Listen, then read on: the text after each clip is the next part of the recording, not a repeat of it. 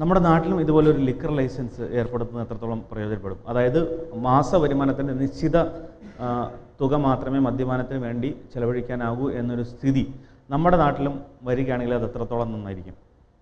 തീർച്ചയായിട്ടും നിയമങ്ങൾ ഒരു പരിധി വരെ ഒരു പരിധി വരെ എന്നല്ല അതിൽ കൂടുതൽ ഇത്തരം കാര്യങ്ങളിൽ നിന്ന് നമ്മളെ പിന്തിരിപ്പിക്കാൻ സപ്പോർട്ട് ചെയ്യുന്ന തന്നെയാണ് എന്റെ വിശ്വാസം.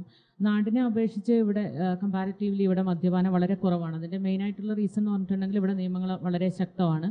പിന്നെ അതുപോലെ തന്നെ പക്ഷേ സങ്കടപ്പെടുത്തുന്ന ഒരു കാര്യം എന്ന് വെച്ചിട്ടുണ്ടെങ്കിൽ ഇവിടെ മദ്യപിക്കുന്നവരിൽ കൂടുതൽ തൊഴിലാളി വിഭാഗമാണ്. അതിന് ഇടനിലക്കാരായിട്ട് പ്രവർത്തിക്കുന്നത് ഈ പറയുന്ന പോലെ വലിയ നിലവാരമുള്ള ജോലികൾ ജോലി ജോലിയിലിരിക്കുന്ന ആളുകളാണ് ഇതിനെ മെയിനായിട്ട് ചുക്കാൻ പിടിക്കുന്നത്.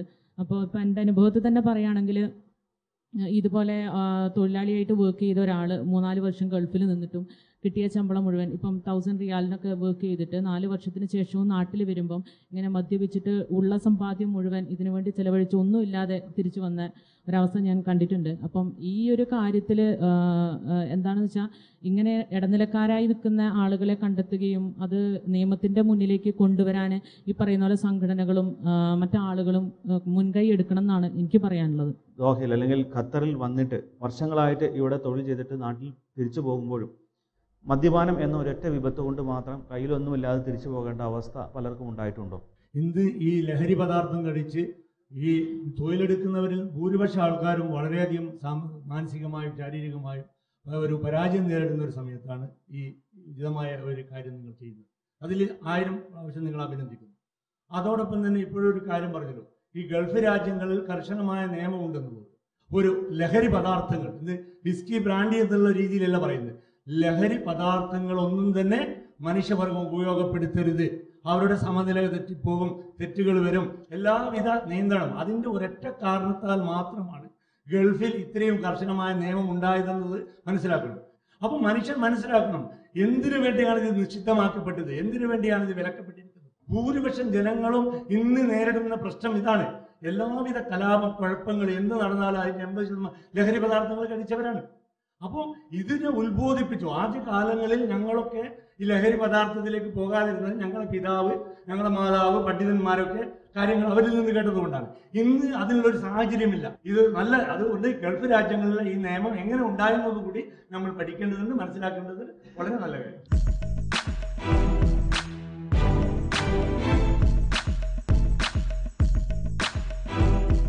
തീർച്ചയായിട്ടും മദ്യപാനം വളരെയധികം കുറയുന്നുണ്ട്. ഈ കടുത്ത നിയമങ്ങൾ നിലനിൽക്കുന്നുണ്ട് തന്നെ. അതിനോടൊപ്പം നമ്മൾ മറ്റുള്ള ലഹരി പദാർത്ഥങ്ങളിലേക്ക് ആൾക്കാർ പോകുന്നത് കാണാൻ പറ്റുന്നുണ്ട്. കാരണം ഇപ്പൊ ഇദ്ദേഹം പറഞ്ഞ കണക്ക് ലൂമ പോലുള്ള പിന്നീട് പിന്നെ ലോഷൻസോ അല്ലെങ്കിൽ അത്തരം ലഹരി പദാർത്ഥങ്ങൾ ആവശ്യമായി ആവശ്യം പോലെ വാങ്ങിച്ചു കഴിക്കുന്ന ഒരുപാട് ആൾക്കാർ ഈ ലേബർ ക്യാമ്പുകളിലും മറ്റുമൊക്കെ ഉണ്ട്.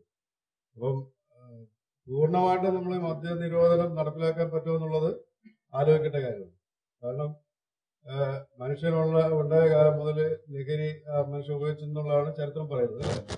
അപ്പൊ ആ ഒരു രീതിയിൽ മദ്യം പൂർണമായിട്ട് നിരോധിക്കാൻ പറ്റുമോ എന്നുള്ളത് നമ്മൾ ചിന്തിക്കേണ്ടതാണ് അത് പറ്റില്ല എന്നാണ് എന്റെ ഒരു എന്റെ എന്റെ ഒരു അഭിപ്രായമായിട്ട് പറയുകയാണെങ്കിൽ അങ്ങനെയാണ് എനിക്ക് തോന്നുന്നത്. പിന്നീട് ഇപ്പൊ ഈ പറഞ്ഞ കണക്ക് നിങ്ങളിവിടെ എഴുതി വെച്ചിരിക്കുന്ന മദ്യപാനം ആരോഗ്യത്തിന് ഹാനികരമാണ് ഇല്ലേ? ആ ലേബര് ഒട്ടിച്ചുകൊണ്ട് തന്നെയാണ് മദ്യം മദ്യം വിൽക്കപ്പെടുന്നത്. അപ്പോൾ അവർ വിൽക്കപ്പെടുന്നവര് നമ്മൾ നിർബന്ധിക്കില്ല. നിങ്ങൾ ഇത്രയും മേടിച്ച് കഴിച്ചോളൂ അല്ലേ? അപ്പോൾ നമ്മുടെ ആരോഗ്യത്തിന്റെ അല്ലെങ്കിൽ നമ്മുടെ ബുദ്ധിയുടെ നമ്മുടെ പിന്നെ ജീവിത സാഹചര്യങ്ങൾ മനസ്സിലാക്കിക്കൊണ്ട് നമുക്ക് വേണ്ട രീതിയിൽ പലപ്പോഴും കൂടി മദ്യം ആകാം എന്നുള്ളൊരു അഭിപ്രായം എനിക്കുള്ളൂ ഈ പ്രവാസികളൊക്കെ നാട്ടിലേക്ക് ലീവിലേക്ക് ചെല്ലുമ്പോൾ വിമാനം ഇറങ്ങിയിട്ട് കാണുമ്പോൾ നാട്ടിൽ നിന്ന് കാണുമ്പോൾ ആദ്യം നേരിടുന്ന ഒരു ചോദ്യം കുപ്പി കൊണ്ടുവന്നിട്ടുണ്ടോ എന്നാണ്. ഇപ്പോൾ ഈ ഖത്തർ പോലെ കർശന നിയന്ത്രണങ്ങളും നിയമങ്ങളുള്ള ഒരു സ്ഥലത്തുനിന്ന് പോലും നാട്ടിൽ ചെല്ലുമ്പോൾ ഇത്തരം ചോദ്യങ്ങൾ നിങ്ങൾ ഫേസ് ചെയ്യാറുണ്ടോ? തീർച്ചയായിട്ടും. കാരണം എന്റെ അനുഭവം തന്നെ പറയുന്നു. നമ്മൾ നാട്ടിൽ ഇവിടുന്ന് ലീവിന് പോകുന്ന സമയത്ത് ഈ ഫോറിൻ ലിക്കറിനായിട്ട് ഒരു ജനങ്ങൾക്കൊരു പ്രത്യേകമായ ഒരു താല്പര്യമാണ്. അത് നാട്ടിലെ ബ്രാൻഡ് അല്ലാതെ ഫോറിൻ ബ്രാൻഡ് ഏതെങ്കിലും ഐറ്റംസ് കൊടുക്കുന്നുണ്ട്? കുപ്പി കൊടുക്കുന്നുണ്ട്? ഈ ഒരു ചോദ്യം പല ആൾക്കാരും നമ്മൾ റിലേറ്റീവ്സ് ആണെന്ന്. ഇപ്പോൾ നമ്മൾ പോകുമ്പോൾ ഇവിടുന്ന് കൊണ്ടുപോകാനുള്ള ഒരു ആറ്റിറ്റ്യൂഡ് പല വ്യക്തികൾക്കും ഉണ്ടായിട്ടുണ്ട്. അത് എന്തോ അറിയില്ല നമ്മളെ ഒരു താല്പര്യം മറ്റുള്ളവരെ സന്തോഷിപ്പിക്കാൻ വേണ്ടിയിട്ടാണെങ്കിലും ഇവിടുന്ന് നാട്ടിലേക്ക് പോകുമ്പോൾ കൊണ്ടുപോകുന്ന ഒരു ഹാബിറ്റ് തീർച്ചയായിട്ടും കാണാറുണ്ട്. ഈ കടുത്ത നിയന്ത്രണങ്ങളുള്ള ഗൾഫ് രാജ്യങ്ങളിലേക്ക് പ്രവാസികൾ വരുമ്പോഴും അവർക്ക് ഫ്ലൈറ്റിൽ മദ്യം വിതരണം ചെയ്യുന്നു.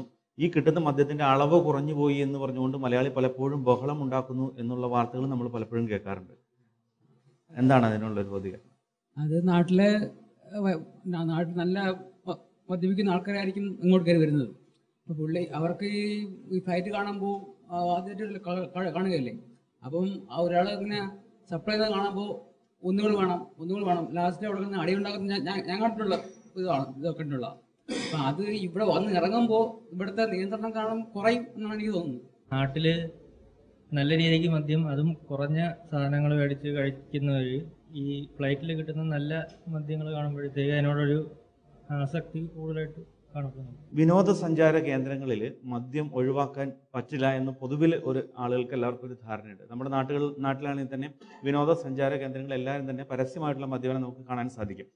ഇപ്പോൾ ഖത്തറിലാണെങ്കിൽ പേൾ ഖത്തറിൽ ആദ്യം മദ്യം കഴിക്കുന്നതിനായിട്ടുള്ള ഒരു ലൈസൻസ് ഏർപ്പെടുത്തി പിന്നീട് ആ ലൈസൻസ് പിൻവലിച്ചു. അപ്പോൾ ഈ വിനോദസഞ്ചാര കേന്ദ്രങ്ങളുടെ വികസനത്തിന് മദ്യം അനിവാര്യമാണോ? ഖത്തറിന്റെ ഒരു ഉദാഹരണത്തിന്റെ പശ്ചാത്തലത്തിൽ. വിനോദസഞ്ചാര കേന്ദ്രങ്ങളിൽ മദ്യം അനിവാര്യമല്ല.